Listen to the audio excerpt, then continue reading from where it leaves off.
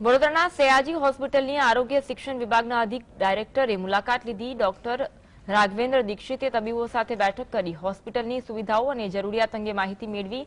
Sayaji hospital મધ્ય ગુજરાતની સૌથી મોટી હોસ્પિટલ છે.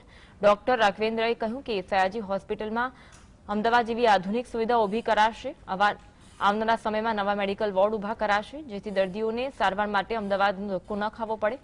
સાથે હોસ્પિટલ બહાર ઊભી રહેતી ખાનગી એમ્બ્યુલન્સ સેવાના નામે થતી લૂંટ પર અંકુશ મૂકવાની વાત કરી.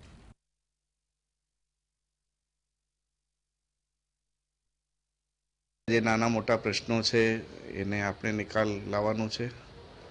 નવું આયોજન ઘણું થઈ રહ્યું છે. વડોદરા માટે બજેટમાં પણ લાસ્ટ યર પણ ઘોષણાઓ કરવામાં આવી હતી. હવે જ્યારે ફેસિલિટીઝ ઊભી થશે, તો મધ્ય ગુજરાતની જે મોટીમાં મોટી હોસ્પિટલ છે, અહીંયા નવા વિભાગોનું હવે ડેવલપમેન્ટ થશે. અને અહીંયાની ટીમ ખૂબ સારી રીતે કામ કરી રહી છે.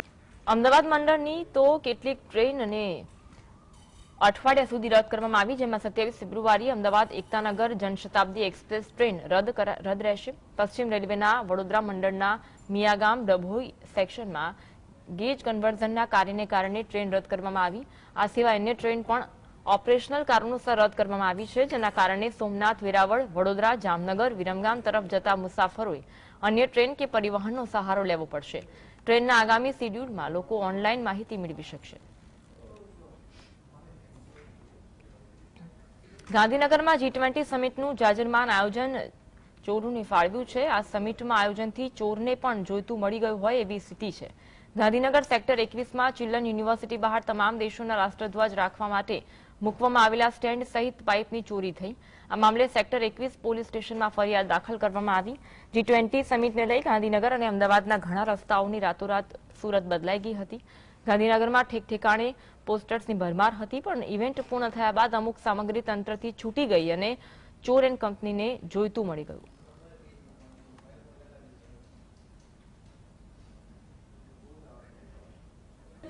વાત કરીએ સુરતની, ઉધના વિસ્તારમાં કેમિકલના વેપારી સાથે પંદર પોઈન્ટ ચોસઠ કરોડની છેતરપિંડીના કેસમાં ઇકોસેલે યુપીથી આરોપીની ધરપકડ કરી. કેમિકલના વેપારીને કાપડનો ધંધો સેટ કરી આપવાનો વિશ્વાસ આપી આરોપી ઉમેશ પાટિયાએ કરોડોની ઉચાપત કરી હતી. આરોપીએ ધંધાનું સંચાલન કરી નફો રળી આપવાનો વિશ્વાસ આપી છેતરપિંડી આચરી હતી. આરોપી ઉમેશે વેપારીઓ પાસેથી ખરીદેલો માલ બનાવટી પેઢી ઊભી કરી બારોબાર રોકડમાં વેચી દીધાનું કબૂલ્યું. તપાસમાં આરોપીનું નામ ખુલતા તે તેના વતન સુલતાનપુર ભાગી ગયો હતો. પાંચ છ કરોડ પાંચ, સવા પાંચ કરોડનો જે માલ હતો, એ માલ આમને જે રાજેન્દ્ર ઉર્ફે ગુડ્ડો એને વેચેલો હતો. રાજેન્દ્ર ઉર્ફે ગુડ્ડો આ જે માલ વેચે અને એ જ જાણતો હતો.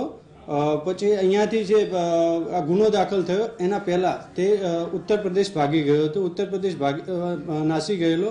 એના એની ખ્યાલ આવતો, અમે એક ટીમ ત્યાં ઉત્તર પ્રદેશ રવાના કરેલી. ઉત્તર પ્રદેશથી એ આરોપીને